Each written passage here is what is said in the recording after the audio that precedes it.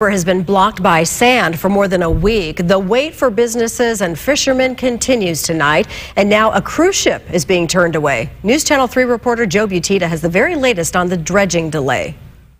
Santa Barbara's harbor is full of boats. The problem is, they have to stay there. From fishing vessels to whale watching boats like the Condor Express, business has come to a standstill. We're on our second week now being shut down. It's definitely hurting business.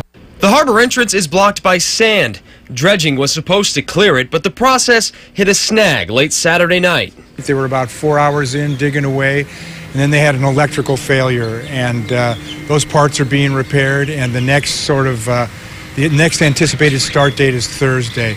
But that's too late for one of Santa Barbara's big tourist draws, the cruise ships.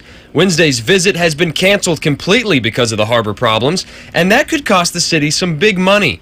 A problem that many within the harbor walls are already having to deal with. People want to go whale watching. It's a great time of year. We've had this beautiful weather, and unfortunately, yeah, we're stuck at the dock here. It's very, very tough. Um, we are escorting boats out. A lot of fishing boats are going out. The deeper draft vessels are having more difficulty. A lot of them are staying in.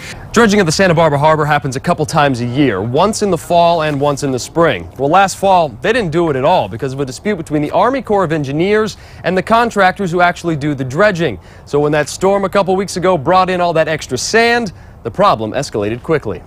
When dredging finally does begin, traffic in and out of the harbor will be severely impacted. All vessels having to wait for designated times during the day to get in and out.